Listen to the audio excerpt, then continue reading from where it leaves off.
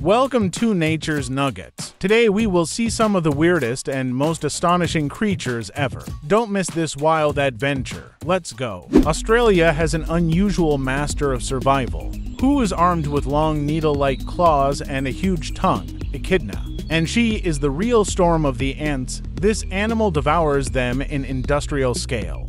It would seem that due to her needles, the animal is invulnerable. But in these places, fires often occur. What does the poor little beast do then? She is quite small and it is hard for her to run away from the approaching flames, but she knows what to do in such situations. She buries herself in the ground, covering all her body with soil. All insects, beasts, scatter who knows where. And huge territories burn out, the earth remains devastated. What happened to our vicious anteater? But actually, she can lower her body temperature to survive the fire passing over her. She is a real master of survival in the ashes.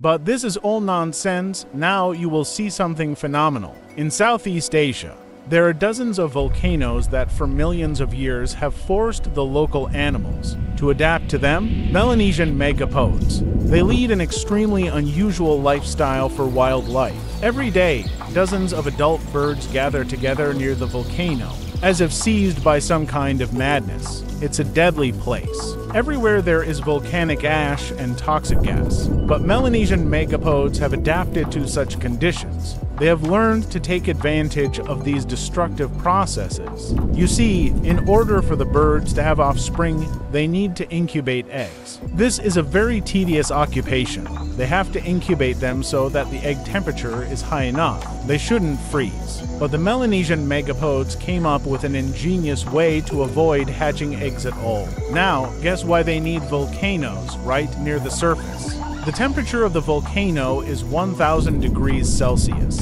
but there are many places with perfect egg temperature, and megapodes are capable of feeling the heat subtly. They can discern temperature difference of half a degree Celsius. Around the volcano, there are only a few places where the temperature is exactly what they need 33 degrees. For these places, there is a bird fight. In the warm ash of the volcano, the bird digs a hole and lays an egg in it, then covers it up, and that's it. From now on, the mother is free as a bird, literally and figuratively. She won't care about the egg anymore.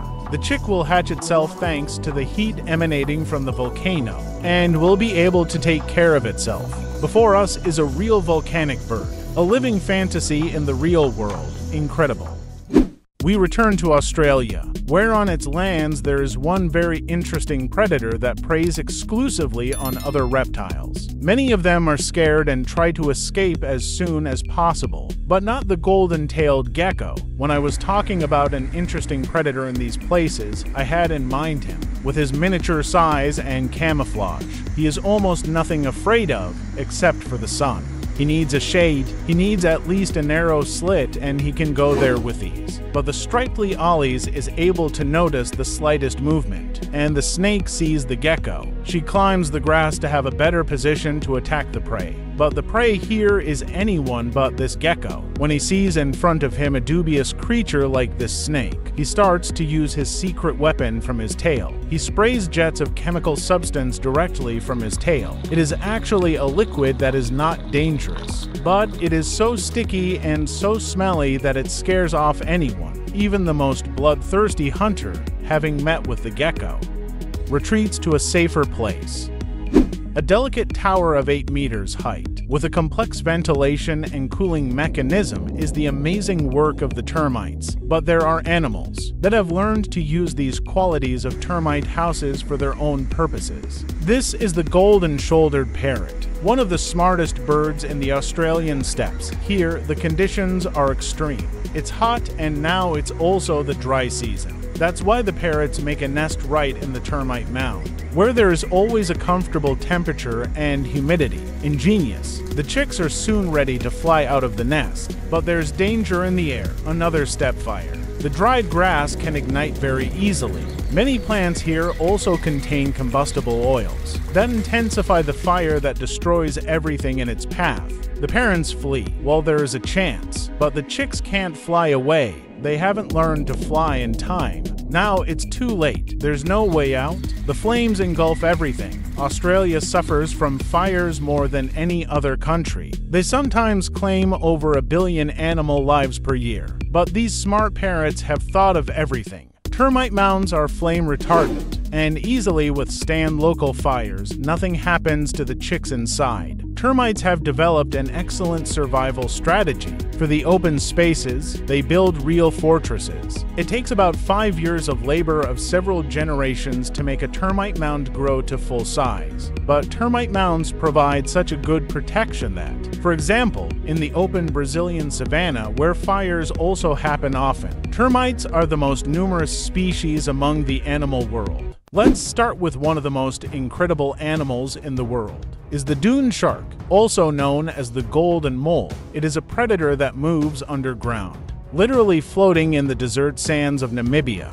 It hunts for its prey by sensing the slightest vibrations in the sand. Just like the fictional creatures from the movies Tremors or Dune, however, Unlike those monstrous beasts, the dune shark only preys on insects such as termites and beetles. It can catch up to 60 bugs per night, which provide it with water and food. The golden mole has a strange appearance, as well as a strange lifestyle. It is covered with skin and fur that protect its eyes, making it completely blind. But it has special bones in its ears that allow it to detect the movements of its prey and predators. The ability to move in the sand also helps the golden mole to hide from danger and survive in the harsh environment of the desert.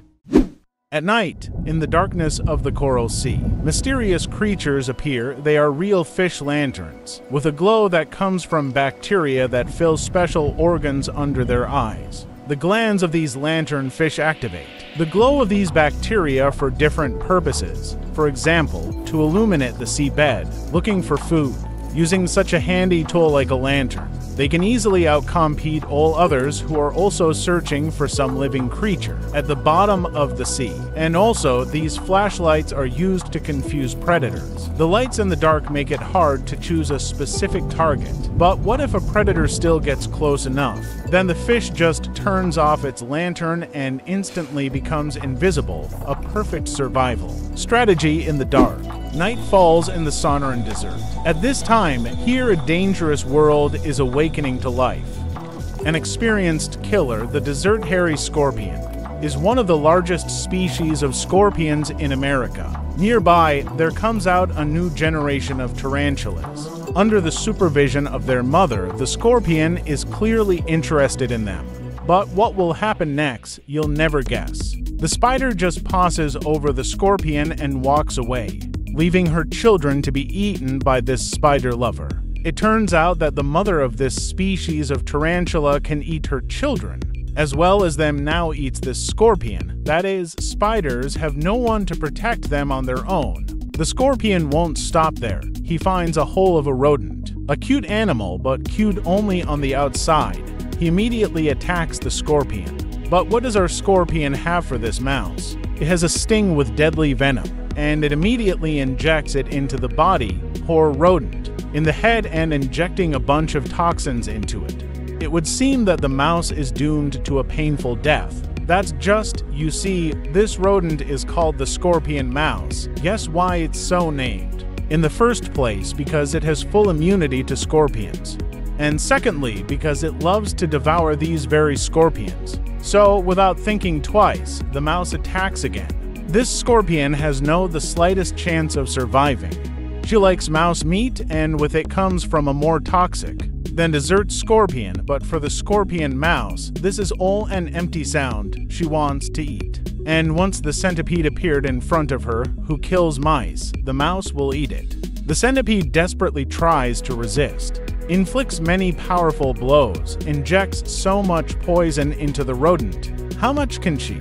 Well, the scorpion mouse has full immunity and doesn't care how much you suffer. Meeting with her means death, no matter how poisonous you are. The centipede will be eaten without remainder. But wait, you obviously haven't underestimated this little devil.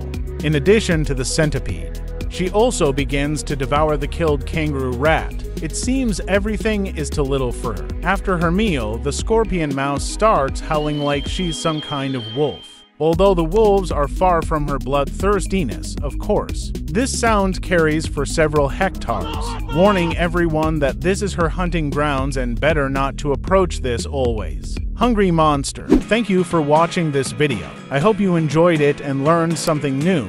If you did, please subscribe to the channel and put likes. Your support means a lot to me and helps me create more content for you. See you in the next video.